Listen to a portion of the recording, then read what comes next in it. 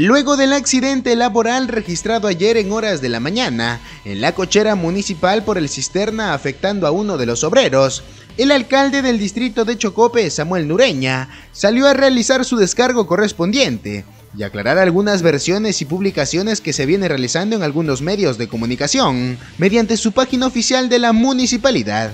Irresponsable lo decimos porque un medio de comunicación que ha publicado, este es de, de Tele 3, Irresponsable lo decimos porque confunden a la población. Para empezar, nosotros no tenemos ningún tractor rojo, ni volteado, ni, se ha volteado. Para empezar, la camioneta de seguridad ciudadana, gracias a Dios, muchos han sabido y les daba pena cuando transitaban. Esta camionetita prácticamente ya está para su reparación, que no ha estado en el lugar de los hechos.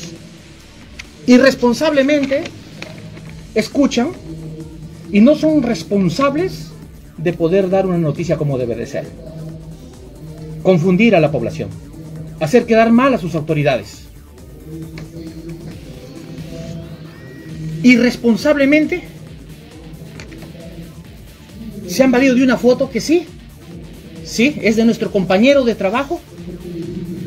Le han tomado la foto y la han publicado. Tal vez no pensando en el dolor de la familia. Irresponsablemente colocan un tráiler, podemos decir, donde el que, si no conociera Chocope, ¿qué es lo que tenemos nosotros como vehículo de una cisterna?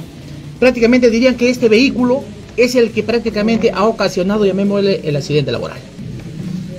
Lo digo así irresponsablemente, porque prácticamente con esta foto quieren confundir a la población.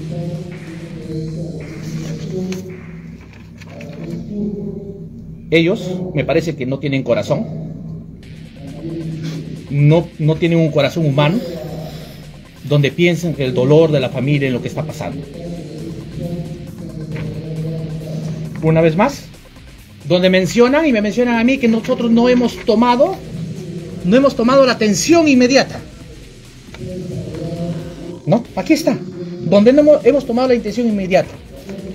Para poder terminar esta, aclaración de, de esto, le digo a la población que lee el Facebook, que ha visto estas comunicaciones falsas, así de esta manera, no estamos nosotros diciendo que no ha sucedido el, accidente laboral, pero sí lo que están sacando aquí prácticamente se están valiendo, llamémosle, de cosas que no son así. Comentarios donde dicen que nosotros no hemos actuado. Y aquí sí va, mis queridos amigos. Nosotros hemos actuado de forma inmediata, con la atención inmediata a nuestro compañero. He estado desde el primer momento como alcalde y como me están catalogando que no he actuado. He actuado con mis funcionarios. Lo que nos interesaba a nosotros en esos momentos era tomar a nuestro trabajador y llevarlo a por emergencia. Era importante su salud en esos momentos y asumimos la responsabilidad de los primeros auxilios allí a nuestro centro de salud en lo que es la emergencia aquí en Chocope. Hizo hincapié que desde un inicio, luego de ocurrido el accidente, se realizó el apoyo para dar los primeros auxilios y estabilizar al obrero segundo Díaz Aguirre y coordinaciones con los familiares, estando la misma autoridad y funcionarios presentes en la ciudad de Trujillo, donde fue derivado por el estado de gravedad. Y nuestra responsabilidad era pensar que prácticamente nuestro trabajador sea bien atendido, como lo, siempre lo hace de salud, era un momento desesperante donde prácticamente un compañero de trabajo había sufrido esto. Dicen que no he concurrido al hospital. Aquí está con mi funcionario, el jefe del área de servicios públicos. Aquí estamos con nuestros jefes de personal, con la misma ambulancia en el centro de emergencia. Aquí estoy con el hermano, nuestro amigo Ronald, que llegó muy preocupado, muy dolido. Aquí estamos en el lugar. Aquí está, señores.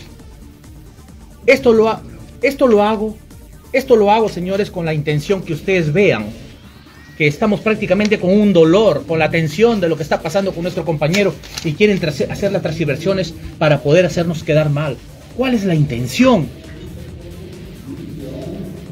¿Qué corazón humano tenemos?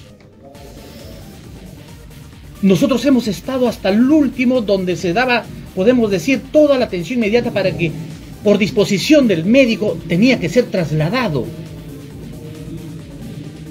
Se coordinó todo para que sea trasladado al lugar del Hospital de las Artes. Salió la ambulancia e inmediatamente salieron nuestros funcionarios en la camioneta municipal acompañando a su compañero. Yo me pregunto, ¿por qué estas intenciones de hacer quedar mal? Muchos dicen, ¿por qué no hemos aparecido nosotros a poder dar, eh, a manifestarnos? O sea, cuando ustedes piden manifestarnos, y ojalá que esta manifestación les voy a hacer así como se han manifestado, el día de hoy voy a poner una cajita afuera, porque yo creo que esa es la intención de ayudar, ¿verdad? Así como se han manifestado, y la preocupación, ya me estoy manifestando, que el día de ayer nosotros era en primer lugar estabilizar a nuestro compañero. Se tomaron todas las medidas necesarias con nuestros funcionarios y se dio el momento del traslado, como les vuelvo a repetir. Nuestros funcionarios han ido hasta, hasta el traslado, en lo que es internarlo, en lo que los funcionarios, en conjuntamente con lo que es, salud. Además, hablan que nosotros no, no, no prácticamente no tenemos eh, la disposición que hemos puesto con la PNP para poder deslindar responsabilidades. Aquí les muestro Aquí les muestro la coordinación. Aquí está. La coordinación, señores. Y pusimos a disposición a nuestro prácticamente trabajador, a nuestro chofer, y con la parte policial, en la camioneta de la municipalidad con nuestros funcionarios, porque estamos dando toda la facilidad, toda la facilidad, él fue trasladado a que le saquen el dosaje tílico cumpliendo nosotros prácticamente con todas las facilidades para que poder nosotros deslindar cualquier responsabilidad. La municipalidad, su consejo, su alcalde, la asesoría legal, la parte técnica, la parte administrativa, hemos tenido el contacto ya con la familia. Y la decisión de nosotros es que estamos cumpliendo con todo el apoyo medicinal que sea necesario que no se encuentra en el hospital. Y es por ello que el día de anoche, con nuestro funcionario encargado, el jefe del área, el señor y doctor también Roberto Cáceda, nos apersonamos también anoche al mismo lugar en lo que es el Azarte. Y hubo, y hubo un malentendido que nosotros habíamos desamparado pero no era desamparado, fue por un par de horas para que el funcionario tenía que regresar para poder nosotros coordinar y que tengamos el dinero para que se pueda comprar. Es por ello que regresó el funcionario y tuvo que volver nuevamente. Y yo también con mi presencia aquí, como les vuelvo, aquí está. Y nos encontramos con los familiares nuevamente en Trujillo. inmediatamente, e inmediatamente, el funcionario hizo saber a nuestra gerenta y a mi persona la receta que estaban dando para poder nosotros comprarlo. En la última parte de la entrevista, el alcalde se quebró por todo lo que viene sucediendo y espera una pronta recuperación del obrero municipal. Yo ruego a Dios